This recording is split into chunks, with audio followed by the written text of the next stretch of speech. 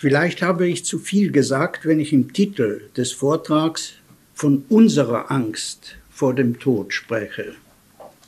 Ich wollte wenigstens implizieren, dass auch ich sie habe. Es gibt Menschen, die sagen, dass sie keine Angst vor dem Tod haben. Heißt das, dass sie sie überhaupt nicht kennen oder dass sie ihr ausweichen oder dass sie sie überwunden haben? Ich werde am Ende des Vortrags die Frage stellen, wie man sie überwinden kann. Aber um sie überwinden zu können, muss man sie erst einmal haben. Der Großteil meines Vortrags wird der Frage gewidmet sein, wie die Angst vor dem Tod zu beschreiben ist. Dabei bin ich zunächst auf Introspektion angewiesen und da muss ich besorgt sein, wie weit Sie mir zustimmen können. Aber nach einigen Schritten werde ich zu einem Satz kommen, der einen intersubjektiv nachprüfbaren Wahrheitsanspruch erhebt weil er den Charakter einer biologischen Hypothese hat. Der erste Punkt, der zu klären ist, ist, welches die richtige Nähe oder Ferne für die Angst vor dem Tod ist. Was ich hierzu sage, wird sich nachher durch die biologische Hypothese abstützen lassen. Aber ich beginne erst einmal mit Behauptungen. Meist unterscheidet man nur zwei Distanzeinstellungen. Erstens die der Ferne, wenn man sich zum Tod so verhält, dass man sich sagt, einmal, irgendwann werde ich sterben. Und zweitens die der absoluten Nähe, wenn man sich im Sterben befindet. Keine dieser zwei Perspektiven ist die charakteristische für die Angst. Sterbende wirken häufig eigentümlich ruhig. Es gibt zwar Menschen, die sagen, sie fürchten sich gerade vor dem Sterben und nicht vor dem Tod. Es ist verständlich, dass man sich vor etwas Unbekanntem ängstigt. Aber ist es sinnvoll, darüber zu grübeln? Man kennt die Ressourcen nicht und die Perspektive im Vorhinein, die man dann haben wird. Wenn man hingegen lediglich weiß, dass man einmal sterben wird, hat man gewöhnlich keine Angst. Sonst müssten wir diese Angst dauernd haben. Dass wir einmal sterben werden, heißt, dass wir sterblich sind. Und das ist eine Eigenschaft. Und man fürchtet sich nicht vor einer Eigenschaft, sondern nur vor einem Ereignis. Es gibt aber eine dritte Perspektive, diejenige, die man hat, wenn man zu wissen glaubt, dass der Tod kurz bevorsteht, wie es zum Beispiel für den Prinzen von Homburg war, als ihm angekündigt wurde, dass er am nächsten Tag hingerichtet würde. Oder wenn man weiß, dass man eine Krankheit hat, die zum Tode führt. Ich meine also, es sind die Situationen, in der wir ein Bewusstsein haben, gleich oder bald sterben zu müssen, an die man sich bei der Frage, worin die Angst vor dem Tod besteht, in erster Linie halten sollte. Dass wir über den Tod aus dieser Perspektive sprechen müssen, bestätigt sich auch, wenn wir uns fragen, wann wir über das Bevorstehen des Todes einer anderen Person affektiv betroffen sind. Gewiss nicht, wenn wir wissen, dass sie einmal sterben müssen wird denn dann müssten wir dauernd das Los aller unserer Lieben beklagen. Der Tod eines anderen betrifft uns unter denselben Umständen wie der eigene. Wenn der Tod ihm kurz bevorzustehen scheint, wie zum Beispiel bei einer entsprechenden Krankheit. Wir werden ihn verlieren, sagen wir dann, obwohl wir natürlich immer schon wussten, dass wir ihn einmal verlieren würden. Und wenn sich der Todesverdacht als irrig herausstellt, sagen wir aufatmend, er muss doch nicht sterben, obwohl er in dem anderen Sinn natürlich weiterhin sterben muss. Ich sehe zwei Gründe, warum man leicht übersieht, dass es der kurz bevorstehende Tod ist, um den es bei der Angst vor dem Tode geht.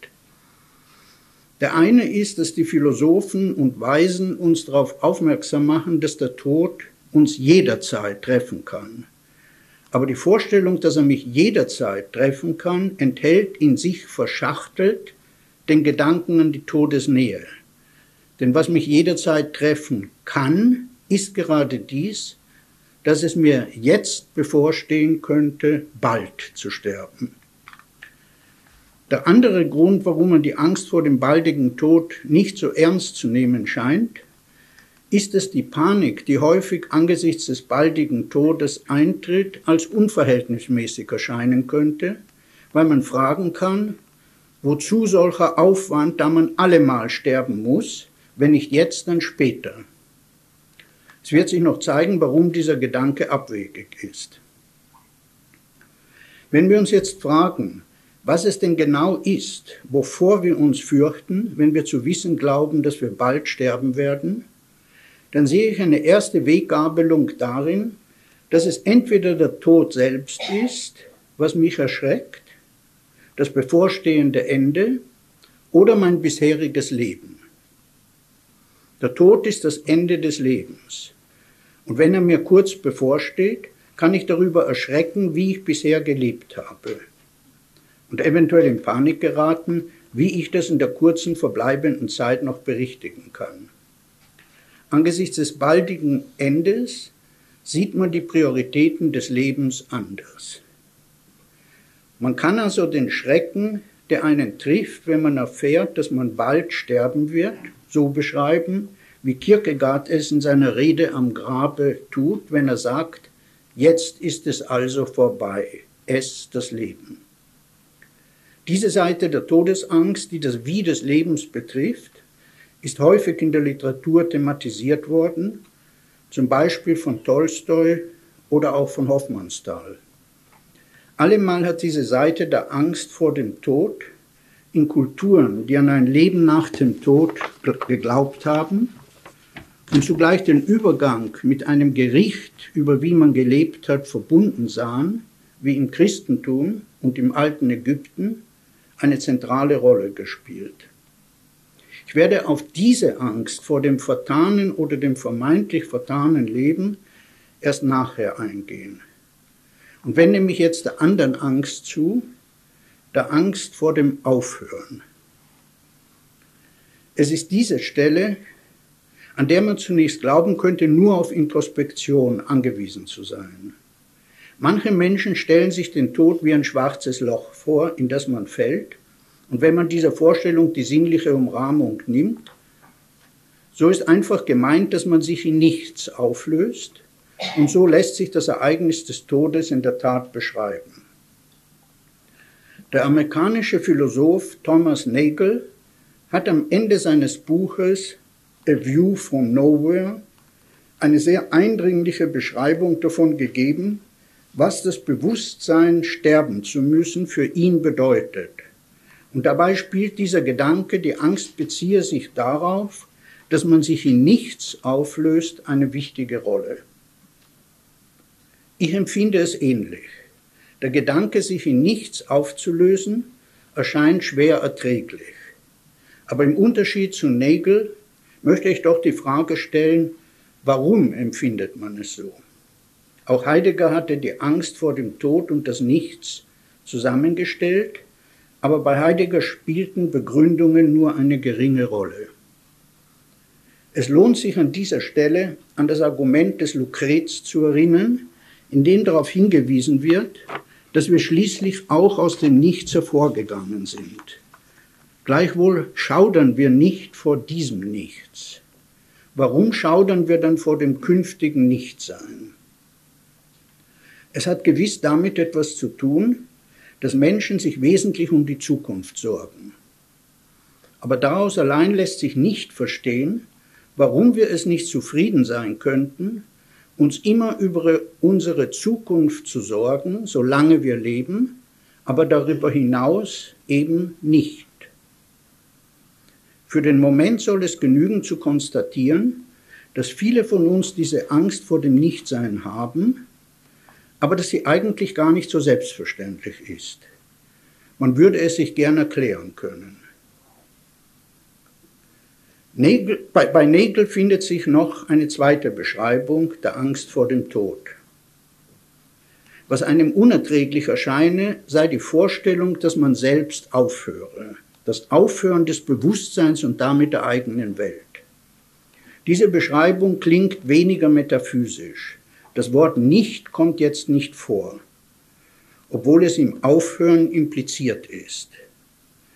Gewiss laufen beide Beschreibungen des Gegenstandes der Angst eigentlich auf dasselbe hinaus. Es ist nur eine Gewichtsverlagerung, wie wir auch statt zu sagen, dass es dunkel wird, sagen können, dass das Licht ausgeht. Die zweite Beschreibung hat aber den Vorteil, dass sie, da sie nicht mehr so metaphysisch klingt, uns einer Erklärung näher bringt. Jetzt können wir einen Grund angeben. Wir können sagen, weil Menschen immer weiterleben wollen, muss ihnen der Gedanke aufzuhören, zu leben, unerträglich erscheinen. So stehen wir jetzt also vor dem Satz, dass Menschen normalerweise weiterleben wollen. Es erscheint vorerst nur ebenfalls intuitiv plausibel, dieser Satz, aber er hat den Vorteil, dass er sich nicht auf ein Gefühl bezieht, sondern auf ein Verhalten. Und nun können wir einen weiteren Schritt machen, indem wir diesen Satz mit unserem biologischen Wissen verbinden. Eine Tierart, die eine bestimmte Struktur hat, kann nicht überleben, wenn sie sich nicht auf eine entsprechende Weise verhält. Wenden wir das auf unseren Fall an. Vorhin war schon die Rede davon, dass es für Menschen wesentlich ist, sich um ihre Zukunft zu sorgen. Diese Charakteristik gründet in der Sprache und dem Zeitbewusstsein, die dieser Spezies eigen sind. Dann liegt es aber nahe zu sagen, eine Population von Wesen, die ein Bewusstsein von ihrer Zukunft haben, würde aussterben, wenn die Individuen im Allgemeinen nicht stets weiterleben wollten. Sie müssen also, um überleben zu können, mit dem Bedürfnis, stets weiterleben zu wollen, ausgestattet sein. Das ist die biologische Hypothese, von der ich anfangs gesprochen habe. Dass sie so trivial wirkt, spricht nicht gegen sie. Und welches Gewicht sie hat, das zeigt sich in den Folgerungen, die sich aus ihr ergeben. Als erstes wirft sie ein Licht auf die eben besprochenen Versionen der Angst vor dem Tod. Die beiden Formen, in der Nägel die Angst beschreibt, erweisen sich jetzt als verständliche Konsequenzen aus der biologischen Hypothese, wie ich sie weiterhin bezeichnen will. Und zwar ist die Angst vor dem Aufhören eine unmittelbare Konsequenz, die Angst vor dem Nichtsein eine durch die Angst vor dem Aufhören vermittelte. So bestätigt sich auch, dass es keine innere Notwendigkeit gibt, dass man das Nichtsein als schrecklich empfinden muss. Die biologische Hypothese impliziert nicht, dass ein einzelner Mensch nicht existieren kann, wenn er diese Angst nicht hat. Sie besagt nur, dass eine Population solcher Wesen zugrunde gehen müsste, wenn sie nicht im Allgemeinen so konstituiert wären, dass sie weiterleben wollten. So wäre jetzt durch die biologische Hypothese auch geklärt, warum die Angst vor dem Tod eine unter Menschen nicht unbedingt ausnahmslose, aber normale Empfindung ist. Es wäre unbefriedigend, wenn man lediglich konstatieren müsste, dass sie ein zusammenhangsloses Faktum des Bewusstseins ist. Menschen können diese Angst überwinden, und das wird nachher wichtig werden, aber normalerweise werden sie sie erst einmal haben, sodass von daher der Titel meines Vortrags gerechtfertigt scheint. Von hier aus lässt sich auch eine Frage auf einfache Weise beantworten, die manchmal diskutiert wird und die neuerdings auch gerade von Nagel aufgeworfen worden ist. Will man weiterleben, weil man glaubt, dass einen mehr Güter als Übel erwarten oder auf jeden Fall? Es erscheint befriedigender, wenn man über solche Fragen nicht nur mit subjektiven Intuitionen streiten muss. Denn dann sagt der eine, wie Unamuno es getan hat. Er würde weiterleben wollen, auch wenn er ewig im Feuer wäre, während ein anderer mit Bernard Williams erklären könnte, dass ein nicht zu Ende gehendes Leben eine unerträgliche Langeweile erzeugen müsste. Letzteres ist wohl wahr, aber irrelevant. Aus der biologischen Hypothese folgt, dass die Übel des Lebens überwältigend groß sein müssen, wenn ein Mensch den Tod vorzieht.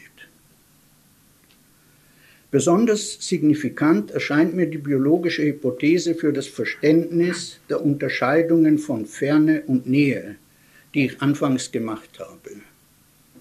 Erst wenn man die Angst vor dem Tod als Kehrseite des Willens weiterzuleben sieht, wird verständlich, warum man diese Angst nicht aus der Ferne empfindet.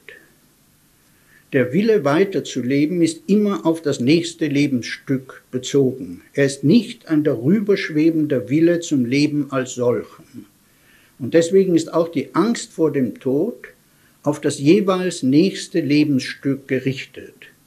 So wird jetzt verständlich, warum der Einwand unpassend war, die Panik vor dem baldigen Tod wäre unverhältnismäßig, weil der Tod gleichwohl noch bevorstehe. Die Rede von dem Tod ist an dieser Stelle ebenso irreführend wie die von dem Leben. Hand in Hand gehen der Wille zum Weiterleben und die Angst vor dem Aufhören, jeweils Schritt für Schritt. Man kann sich leicht klar machen, dass wie die Angst davor, bald zu sterben, funktional ist für das Überleben, ebenso die Angst davor, einmal zu sterben, dysfunktional wäre dass es sich nur lähmend auf den Lebenswillen auswirken würde. Ich will nicht sagen, dass der Gedanke, sterblich zu sein, beim Menschen keinen negativen Effekt hervorrufen kann. Offenbar hat es immer einzelne sowie ganze Kulturen gegeben, die unter der Sterblichkeit der Menschen gelitten haben und daher entweder eine Unsterblichkeit im Jenseits oder wie im Gilgamesch-Epos ein Kraut gegen die Sterblichkeit auf Erden suchten. Ich will keineswegs alles auf das Biologische reduzieren, aber die biologische Hypothese macht doch verständlich, warum der Primärbereich der Angst vor dem Tod die Angst vor dem baldigen Tod ist. Auch für das Verstehen der Ruhe und Heiterkeit, die häufig bei Sterbenden zu beobachten ist, gewinnt man von der biologischen Hypothese her eine Stütze. Denn dass ein Mensch sich an das Leben klammert, hat im Sterben keine Funktion mehr. Vielleicht finden Sie, dass ich uns Menschen zu Marionetten degradiere, wenn ich unsere obersten Wünsche und Ängste ins Biologische einzubetten versuche. Aber woher sollen sie denn sonst kommen? Und ich sehe keinen Grund, warum man sich mit seiner biologischen Grundlage nicht identifizieren können soll. Das Biologische und es handelt sich ja um das menschlich-biologische, tritt nicht an die Stelle von uns, es tritt nur an die Stelle von vermeintlichen metaphysischen Intuitionen. Aber ich will jetzt das Phänomen Tod noch in einer anderen Terminologie beschreiben, mit der sich vielleicht einige eher identifizieren können und die jedenfalls auf die Sache selbst ein zusätzliches Licht wirft. Ich denke an solche Redeweisen wie im Tode verliere ich mein Leben. Ich werde gleich noch erklären, warum eine solche Redeweise etwas Uneigentliches hat. Aber sie hat den Vorteil, dass man den Tod, wenn er ein Verlust ist, mit anderen Verlusten in einer Reihe sehen kann. Und sicher gehört diese Möglichkeit, den Tod nicht nur als etwas Einzigartiges zu sehen, das er gleichwohl ist, sondern als einen äußersten Punkt in einer Reihe, wesentlich zu der Art, wie wir das Ende des Lebens sehen. Man kann hier auch an das bekannte Gedicht von Rilke denken, das mit den Worten beginnt, sei allem Abschied voran. Indem Rilke den Tod als äußersten Abschied anspricht, stellt er ihn in eine Reihe mit anderen Abschieden. Und ebenso stellt man den Tod, wenn man ihn als Verlust des Lebens bezeichnet, in eine Reihe mit anderen Verlusten. Das Uneigentliche dieser, Redeweise, dieser Redeweisen ist, dass sie implizieren, dass ich dann noch existiere. Wenn man von etwas oder jemandem Abschied nimmt, steht eine Trennung bevor. Aber die, die sich verabschieden, existieren weiter. Kann man vom Leben Abschied nehmen? ich und mein Leben sind nicht zwei Dinge, die getrennt werden könnten. Noch deutlicher wird diese Schwierigkeit, wenn ich sage, ich verliere das Leben. Wenn jemand einen Verlust erleidet, bleibt er selbst erhalten. Offensichtlich haben wir das Leben nicht in einem vergleichbaren Sinn, wie wenn wir sonst etwas haben. Das Leben kann einem Subjekt nicht genommen werden, weil es dann aufhört, dieses Subjekt zu sein. Dieses Problem ist keineswegs ein nur sprachliches, als ob die Sprache nicht das zum Ausdruck bringen könnte, was wir meinen. Denn die Sprache hat durchaus eine einfache Möglichkeit, den Sachverhalt des Todes korrekt zum Ausdruck zu bringen, indem man eben sagt, ich werde aufhören oder mein Leben wird zu Ende gehen. Eine Person, also was man eine Substanz oder ein Wesen oder ein Subjekt nennt, ist etwas strukturell anderes als einer ihrer Zustände. Wenn sich eine Person in einem Zustand befindet, können wir sagen, sie hat diesen Zustand. Wir können auch sagen, sie hat eine Beziehung zu etwas oder zu einer anderen Person. Wenn sie diesen Zustand verliert oder die Beziehung zu etwas verliert, bleibt doch immer sie selbst bestehen. Ich kann einen Menschen verlieren, ich kann meine Beine verlieren, ich kann meine Jugend und meine Gesundheit verlieren, aber ich kann nicht mein Leben verlieren. Deswegen ist es eine uneigentliche Redeweise, wenn man den Tod so beschreibt, als verliere der, der stirbt, sein Leben. Nun macht es aber nichts, wenn man die uneigentliche Redeweise verwendet, wenn man nur weiß, dass sie uneigentlich ist.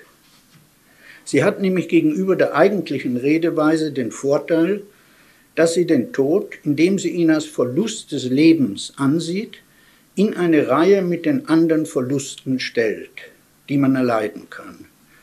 Offenbar brauchen wir einen Gesichtspunkt, unter dem wir die Objekte aller Frustrationen sehen, die wir erleiden können, und deswegen legt es sich nahe, den Tod auch als einen Verlust zu bezeichnen. Auf der anderen Seite hat dieser Verlust in Anführungszeichen eine einzigartige Struktur und das ist der Grund, warum er nur uneigentlich mit diesem Wort beschrieben werden kann. Mit Hilfe des Begriffs des Verlustes kann man auch einen bestimmten Typus von Todesangst beschreiben, den ich bisher ausgelassen habe. Ich meine denjenigen, den ich als vegetative Todesangst bezeichnet habe und mit dem ich diejenige Angst meinte, die wir empfinden, wenn wir von einem hohen Gebäude zum Beispiel herunterfallen oder von Feinden gejagt werden und bei der es naheliegend ist zu sagen, denselben Typus von Angst haben auch andere höhere Tiere unter ähnlichen Umständen.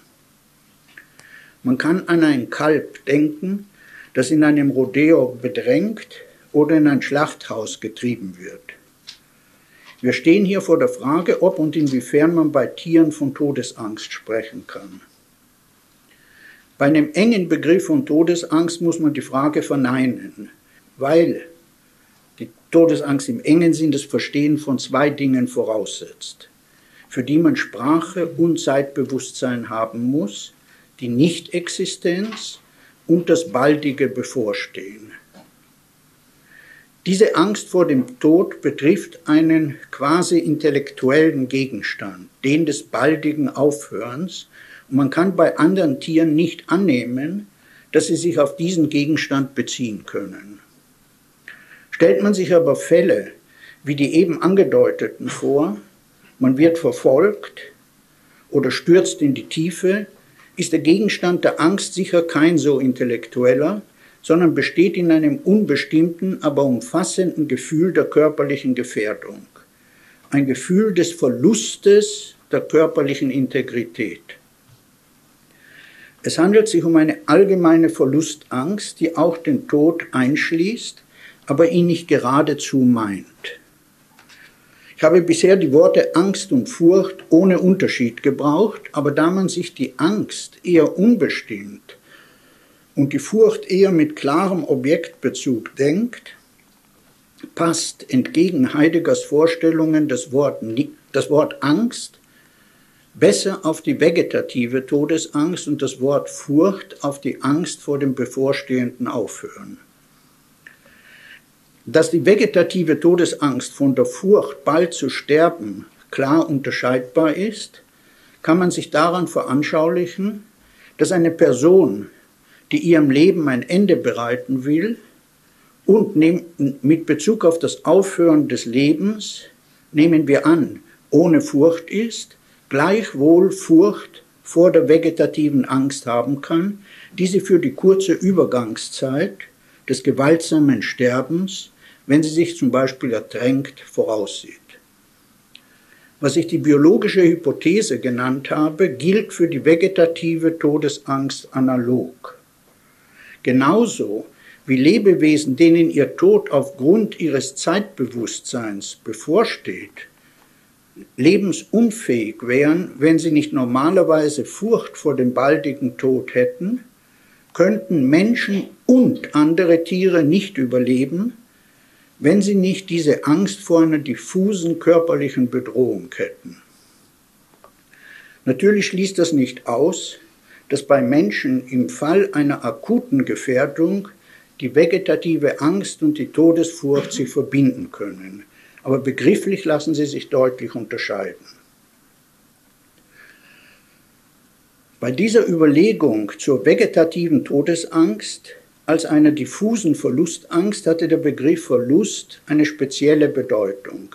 Wegen seiner Unbestimmtheit reichte er bis zum Tod, ohne sich explizit auf ihn zu beziehen. Ich gehe jetzt wieder zu dem normaleren Begriff eines Verlustes zurück, der sich auf ein bestimmtes Objekt bezieht. Und auf diese Weise kann man, wenn auch in der angegebenen uneigentlichen Weise, auch vom Leben als etwas sprechen, das man verlieren kann. Soll man nun sagen, der Tod sei der größte Verlust, den man erleiden kann? Ähnlich hat man vom Tod als größtem Übel gesprochen. Ich meine aber, man sollte vom Tod nur sagen, dass er, wenn man ihn mit den anderen Verlusten vergleicht, von der Struktur her einzigartig ist, eben weil er die Existenz des Subjekts selbst betrifft und nicht etwas, was das Subjekt hat. Aber daraus folgt nicht, dass das eigene Leben das Wichtigste ist, was man hat. Jemand kann es schrecklicher finden, etwas anderes als das Leben zu verlieren, und man kann es vorziehen, für jemand anderen oder für etwas zu sterben. Dieser Umstand, dass einem etwas anderes, was zu einem gehört, wichtiger sein kann als das eigene Leben, zeigt aber auch, dass wir solche Vergleiche machen können dass sich also der Tod trotz seiner Besonderheit unter einen allgemeinen Gesichtspunkt subsumieren lässt. Man kann allerdings bezweifeln, dass der Begriff des Verlustes als weitestgehender Gesichtspunkt für was man vermeiden möchte ausreicht. So kann man den Tod vorziehen gegenüber körperlichen Schmerzen, obwohl sich Schmerzen nicht unter den Begriff von Verlust subsumieren lassen. Vielleicht passt hier das das unschöne Wort Frustration am ehesten. Wenn man es nicht subjektiv versteht, sondern so, dass es für alles steht, was geschieht, das den eigenen Wünschen entgegensteht.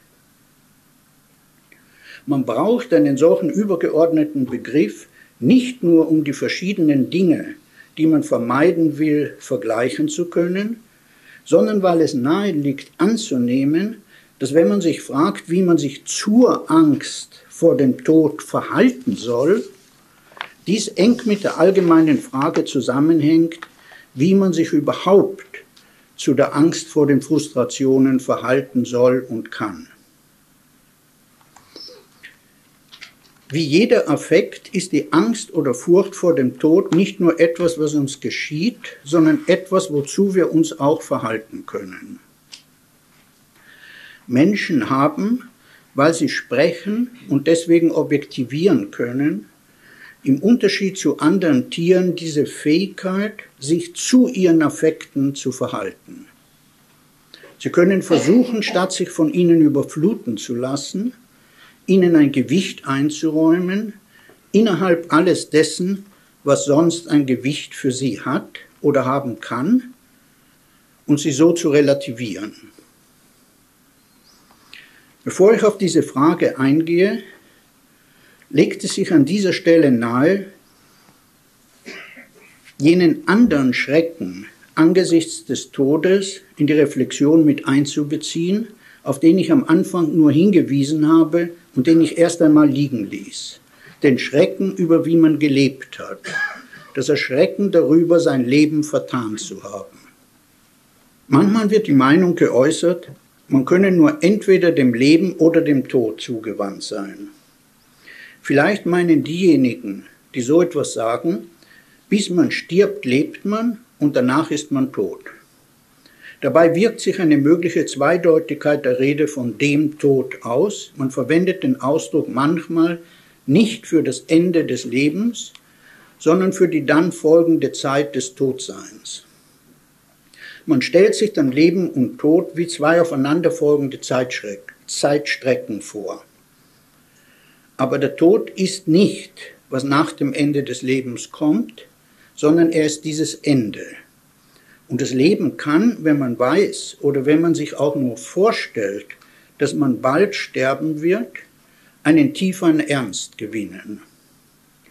Es besteht so wenig ein Gegensatz zwischen der Zuwendung zum Tod und der Zuwendung zum Leben, dass man sich, wenn man sich der Möglichkeit des baldigen Todes bewusst wird, gerade mit dem eigenen Leben als solchen konfrontiert sieht und dann gegebenenfalls über dieses erschrickt. Wir befinden uns dauernd in irgendwelchen Tätigkeiten. Wir haben die und die Wünsche und verfolgen die und die Ziele.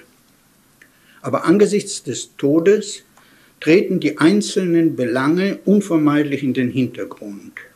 Der Tod ist das Ende des Lebens und nur per Akzidenz das Ende dieser oder jener Tätigkeit.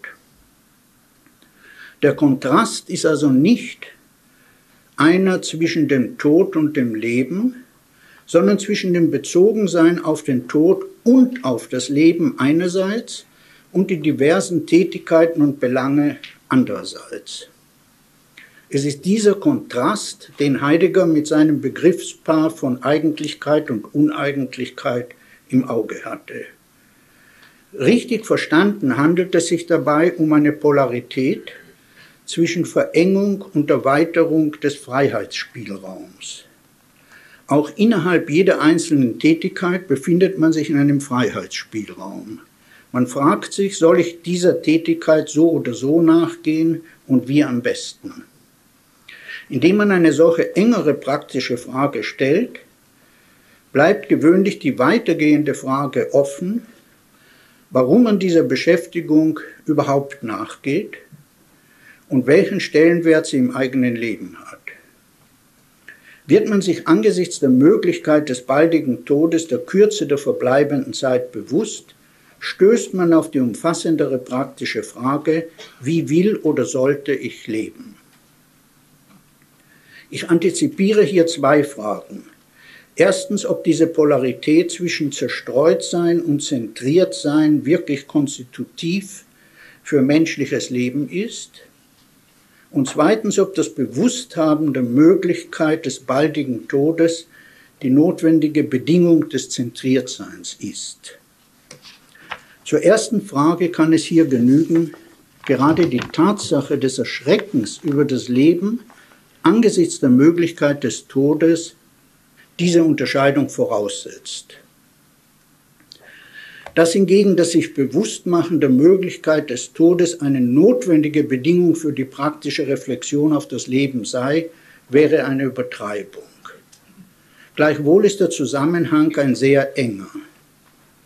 Der Tod, sagt Kierkegaard in der Rede am Grabe, ist der Lehrmeister des Ernstes.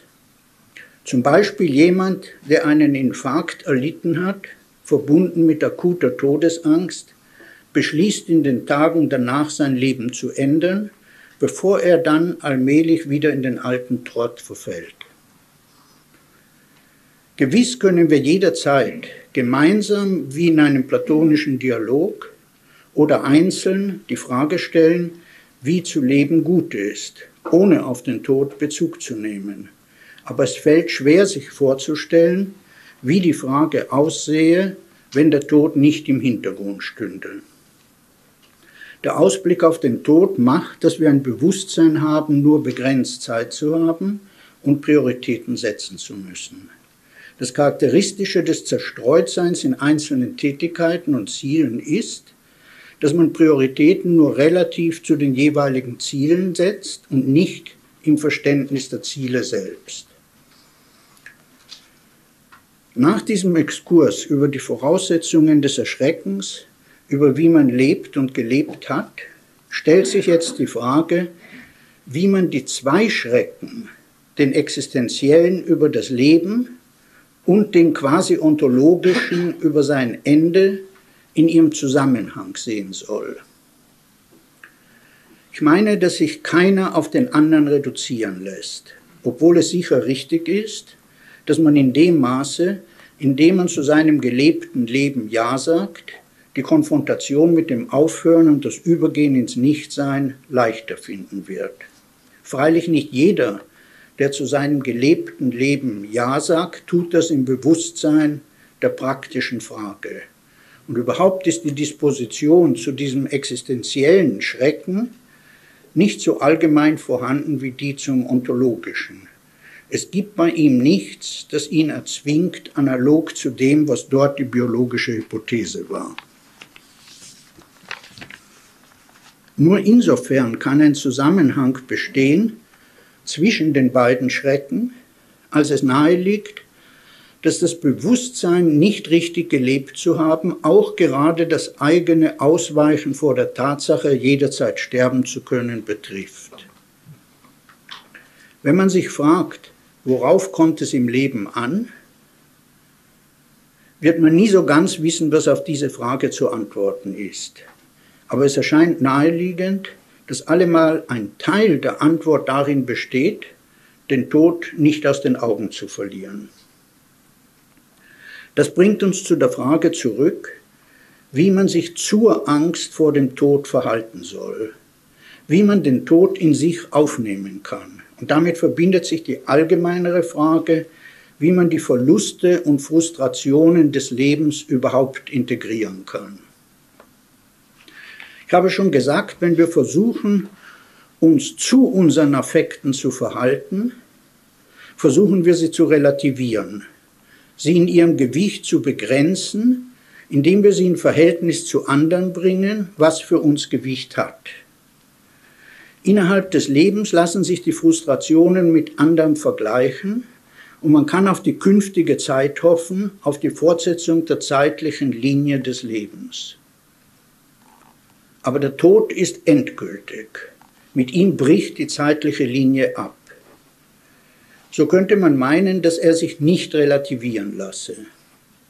Richtig ist aber nur, dass er sich nicht relativ zu anderen Dingen, die zu mir gehören, relativieren lässt, ebenso dass er sich nicht bezogen auf die vor mir liegende zeitliche Linie relativieren lässt. Aber die Relativierung kann quasi seitlich geschehen, indem man sich umwendet und nicht mehr relativ zu sich gewichtet. Alle sonstigen Frustrationen kann man versuchen, relativ zu anderem, was zu einem selbst gehört, zu relativieren. Aber man kann auch sie so relativieren, dass man sich relativiert relativ zu anderem und relativ zur Welt. Den Tod aber kann man nur noch auf diese zweite Weise relativieren und darin scheint mir der Stellenwert zu liegen, der dem Gedanken an den Tod zur Bewältigung auch der anderen Frustrationen zukommt. Ich will zuletzt noch fragen, wie sich eine solche seitliche Relativierung auf die Angst vor dem Tod in den beiden Beschreibungen auswirkt, die ich im Anschluss an Nagel gegeben habe. Die erste lautete, es erscheint schrecklich, sich in nichts aufzulösen. Und die zweite, die Vorstellung erscheint schrecklich, dass ich aufhöre und damit auch meine Welt. Diese letzte Formulierung setzt voraus, dass man die Rede von meiner Welt subjektiv versteht. Aber ist nicht auch die objektive, unabhängig von mir bestehende Welt meine Welt? Diese hört nicht auf, wenn ich aufhöre. Was ich die seitliche Relativierung nenne, bedeutet, dass ich mich nicht selbst als letzten Bezugspunkt von allem ansehe, was mir wichtig erscheint. Relativ zur Welt bin ich unwichtig und ich kann es selbst so sehen. Wenn es mir also gelingt, meinen Maßstab von Wichtigkeit von mir selbst auf anderes zu verlegen, tritt die Angst davor, dass ich aufhöre, zurück. Vorhin habe ich von einer Zentrierung gesprochen, in der ein Mensch sich gegenüber der Vielfalt seiner Belange sammelt. Man stellt sich in seinen eigenen Mittelpunkt sozusagen. Jetzt legt es sich nahe, dass diese Zentrierung die Besinnung auf sich zugleich dazu führen kann, auf das aufmerksam zu werden, was nicht ich bin und nicht zu mir gehört. Die Zentrierung kann also in eine Dezentrierung übergehen. Man hat sich in den eigenen Mittelpunkt gestellt und in diesem zeigt sich einem, kann sich einem zeigen, dass man nur ein Mittelpunkt unter vielen ist und man wird sich der eigenen Geringfügigkeit bewusst. In der anderen Beschreibung hatte die Angst zum Gegenstand, dass das eigene Leben in nichts übergeht. Da aber alles, was es gibt, Grenzen hat, könnte man die Angst davor, dass das eigene Leben in nichts übergeht, eher komisch finden. Diese Angst ließ sich daher erst durch die biologische Hypothese verständlich machen. Man könnte nun denken, wenn es so leicht ist, sich davon zu überzeugen, dass diese Angst nur das Ergebnis einer biologischen Notwendigkeit und an und für sich gar nicht einsehbar ist, ließe sie sich zum Schweigen bringen. Aber das gelingt nicht, mir jedenfalls nicht. Diese Angst lässt sich nicht intellektuell wegargumentieren. Wir sind offenbar so tief in unserer biologischen Basis verwurzelt, dass sie sich durch die Erkenntnis, dass das Begrenztsein an und für sich nichts Erschreckendes zu haben bräuchte, nicht beseitigen lässt. Von ganz anderer Art ist die Überwindung der Angst, die sich in der Selbstrelativierung ergibt. Das ist nicht mehr ein Argument, sondern ein wirklicher Schritt, eine Umwendung. Und diese Umwendung scheint gerade nur dann möglich zu sein, wenn man die Angst vor dem Tod erst einmal aufgenommen und sich in seiner biologischen Basis akzeptiert hat. Danke Ihnen.